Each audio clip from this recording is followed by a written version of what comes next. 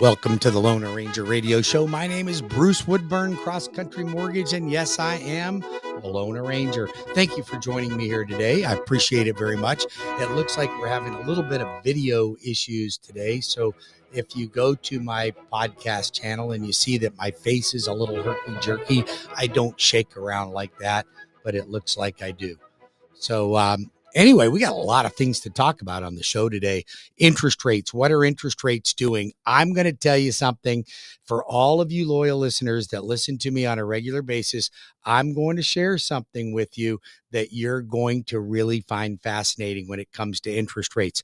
Then I've got a lot of different programs I want to talk about and things and opportunities that you have. For instance, so many people are jumping into refinance right now. So, who should refinance and who should wait? Who should refinance? Who should wait? We're going to talk a little bit more about that and uh, what you can do uh, to discover whether now is the right time for you to refinance. So, typically, when it comes to refinancing, people think that you have to either drop by a point and a half. Uh, some people have even said two points, but that is not true. It's not true at all. Sometimes you do need to drop that much, but that's just a rule of thumb. It's like people say, oh, closing costs are 3% of the, the purchase price. No, they're not. They're 6% or so if you have a $100,000 loan, and they may be 1.5% if you have an $800,000 loan. So there's too many items on a closing cost statement that are uh, that are static. They are uh, they're embedded. They're the same no matter what price of a house you buy. That's why closing costs for low end buyers are more expensive than that of high end buyers because the appraisal costs the same amount per se. So does a survey. So does the title services. So all of that is all static. And therefore, the higher the purchase price, the lower the percentage of closing costs. There you go. There's something new for you. All right. Um, so listen, you know what? I'm going to get right into this. This interest rate thing is just driving me absolutely crazy. And I know my listeners are smarter than the average people. So I know you are. I get calls from you guys every day and twice on Saturday and Sunday. But here's the thing how many times did you hear me say before the Fed cut the Fed rate that the interest rates for the cut were already baked into today's rates? You heard me say it a hundred times. Okay. I also told everybody, and I got a lot of flack for it, is that when the Fed cuts the Fed rate, interest rates on mortgages could go up. And everybody's like, You are an idiot. What are you telling us that for? What's your motivation for that one? Well, guess what, folks? The Loan Arranger was right again. Interest rates are actually higher today than they were on the day the Fed cut the Fed rate. You're right. They're higher. So we have to understand why. So this is why I like to spend time helping you guys get sharp. Okay. So First of all, the Fed has nothing to do with mortgage rates. The Fed rate is the money that banks borrow money from from from each other for the for that matter or from the Federal Reserve. So it doesn't have any impact on mortgages really at all. It has an impact on the economy that can have a trickle down impact on mortgages. But the Fed rate has nothing to do with mortgage rates whatsoever. And anybody that thinks it does is just uninformed. So now that you are informed, then let's get on a little deeper with this. So, mortgages and mortgage rates are tied to the bond market. The 10 year Fannie Mae bond, the 30 year bond, that's what they're tied to. So, the better the bond yield, the lower the interest rate. I'll say that again. The better the bond yield, the lower the interest rate. So we want bonds to go up, up, up, up. Now, I digress for a second. When the Fed cuts the Fed rate, you think about this. Why do they do that? What's the purpose for cutting the Fed rate? All right. I'll answer it for you since I can't hear you. It's to stimulate the economy. Would you guys all agree with that? So when the Fed drops the Fed rate, more people are more likely to spend money. Their money goes further. And we need money to circulate. If money's not moving around, the economy comes the economy becomes very stagnant and nobody's making any money. That's why money's called currency because it has to move, it has to flow, it has to keep moving all the time. If it stands still, nobody's getting anywhere. So we need money to move around. So the Fed drops the Fed rate, that stimulates the economy. Now, that gets you out spending more money. It allows you to be able to accumulate more for less money as inflation goes down.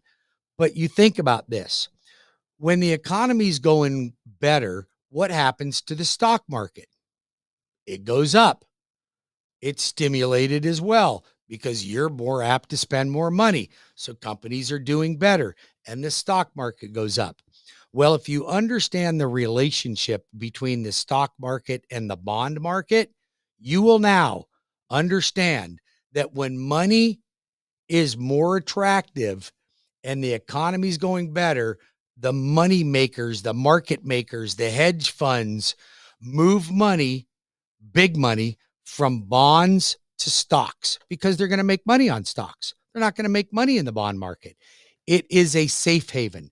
The bond market is a safe haven. It's a place for lenders and insurance companies and big investment firms to park their money until the dust settles in the stock market, then move back into the stock market when it when the dust is settled. So, what happened?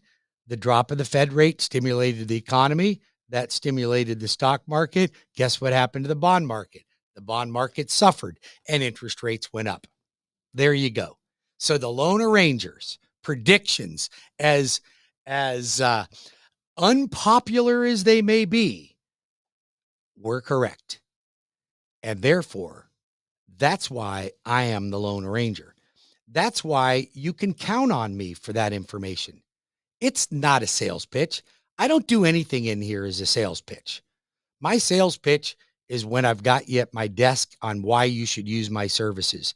This show is for you to understand the market better, for you to be able to make better informed choices on who to choose for a mortgage, how to buy a home, how to negotiate it, when to refinance, what programs may be available, which ones are are crappy programs and which ones are great programs.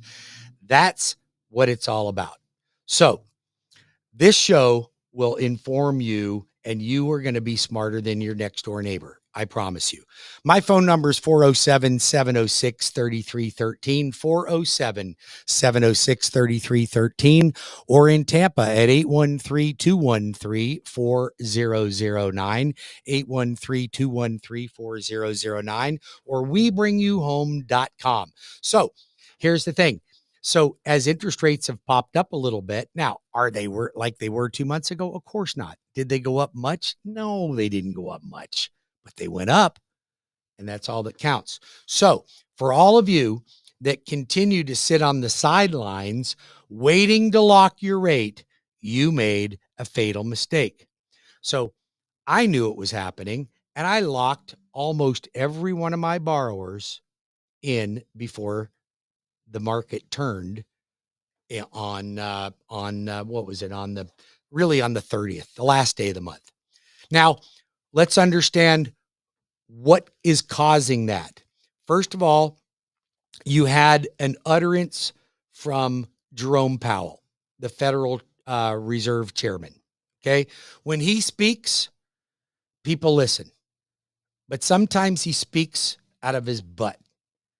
And he had the nerve to say on September the 30th that they weren't sure if they were going to make any more Fed cuts at any time soon. Well, the market went ape crap over that.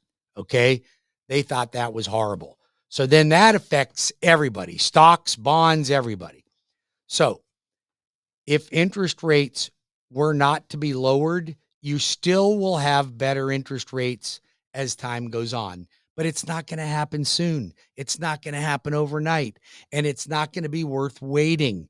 It's just time to do it now. You can still get a great rate. You can you can get a rate in the fives, in buy downs in the fours potentially. There's opportunities for you to be able to buy or refinance. If you're a veteran, don't go to USAA, don't go to Veterans United, don't go to new whatever it is, new veterans, whatever. I'm going to tell you why. These guys spend millions of dollars on advertisement and somebody's got to pay for it. You don't see any ads for me out there. You don't see one cross country advertisement anywhere. And yet, we're the largest retail lender in the country. Why? Because we have great rates, we have great service. So if you're a veteran, if you're FHA, if you want to refinance, you call the loan arranger. 407 706 3313 or 813 213 4009. Or go to webringyouhome.com and apply now. Webringyouhome.com. Get your application made. I'll help you. I'll do a soft credit pull. I won't even do a hard credit pull, but let's start saving you money and start saving you money sooner rather than later. Now, if you're looking to buy, and you got a three and a half percent 30 year fixed rate, then let's think about what is motivating you to want to buy. Because I already know you don't want to give up your three and a half percent fixed rate. We all know that. So, what's more important than the rate? Well, maybe you had a child. Maybe you're tired of living in an apartment complex with a crackhead next to you. Maybe your car was vandalized. Maybe your kid's getting bullied at school. Maybe you just don't like where you live. Maybe you want to paint a bedroom your own color. Maybe you have pets and your a landlord or uh, apartment complex won't let you have them. There could be any number of reasons. But moving to improve your lifestyle, to make it more comfortable, put your kids in better schools, have a place to call your own is always worth more than the rate that you're paying. Now, I don't mean that you should do it even if you can't afford it. Don't do that. That would be foolish. I'm just saying that there's more important things than rate. And you can count on appreciation. We're seeing a 5% appreciation right here, right now. 5%. 5%. That means a $500,000 house goes up $25,000 every year. So listen, the longer you wait, the more you're out of the game. If rates continue to go down in the future, then we refinance it. When you come to me, you don't pay any lender fees when we refinance. So listen, you're not going to pay any lender fees to refinance. Just get into a home now. Let's lock in the best rate we can. You should be you should be in the anywhere between the low fives and the low sixes unless your credit's just in the toilet. Now if your credit's in the toilet and then and you, you have to pay a higher rate, well, that's on you. That's not on me. So guess what I'll do? I'll help you fix it. Don't wait and fix it yourself. I'm telling you, you guys do more damage than good when you try to fix your own credit. So stop doing it and stop paying people for it. It's ridiculous. Stop it. Call me 407 706 3313 or 813 213 4009. So we talked about interest rates pretty much in this whole segment. We, uh, I, I, I given given you, uh, I can't even speak. I've given you an explanation as to what causes interest rates to move and what doesn't cause interest rates to move. We've talked about the benefits of buying, but I'm going to tell you something. For all of you tenants out there, all of you renters that are renting right now, I don't care if the interest rate was 15%, it's better than renting because you're paying 100%. You heard me 100% interest. So don't complain about an interest rate when you're a renter. You have no room to complain. You know what you complain about? Not getting up off your butt and going buying a house, calling the loan arranger. I'll hook you up with a great real estate agent. They'll give you 25% of their commission back in your pocket. That's what you have to look forward to. A great rate a good mortgage, a new place to live, and a place to call your own. My name's Bruce Woodburn. I'm the loan arranger. I will be back in five minutes with more of the Loan Arranger radio show. CrossCountry Mortgage 407 706 3313 813 213 4009 or we. I'll be back in five minutes. We're going to cover self employed borrowers and how to not fix your credit.